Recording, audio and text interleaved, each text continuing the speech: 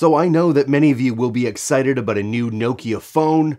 So where is the differentiation? What should we get excited about, if anything?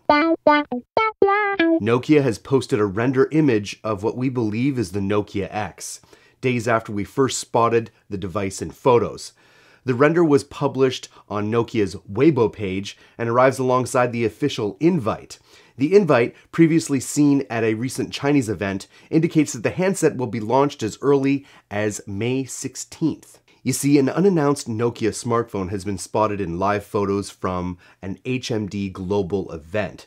The device, which features a model number TA1099 and goes by the name Nokia X, would be the 10th smartphone, excluding 2018 editions and variants, released by HMD Global. The images were picked up by Nokia Mob earlier this week and reveal the handset sitting on a display table at an unnamed, presumably Asian event.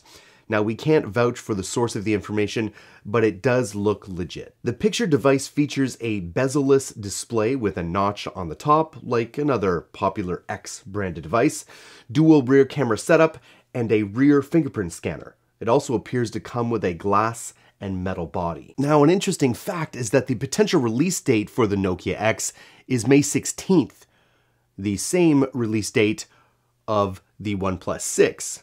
Coincidence? Hmm, I doubt it. And if they did it on purpose, it's a bad idea because OnePlus is going to overshadow your marketing push, Nokia.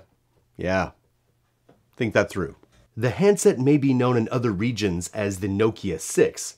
That device has been previously rumored with a different design, but it's possible that the other renders were inaccurate. It's also possible that they were accurate and the X6 is simply a separate device under the X banner.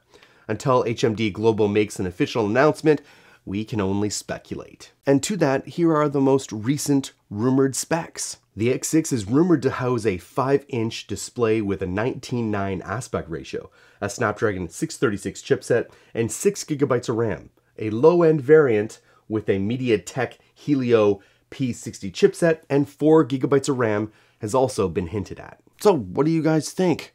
I think we could be talking about two different rumors of one device or two rumors of two different devices. We'll have to wait and see. I want to see what the price tag for this is because it is a solid mid-range spec device if the uh, rumored specs are accurate and I want to see how much they're going to charge for it. Let me know what you think in the comments below or on Twitterverse.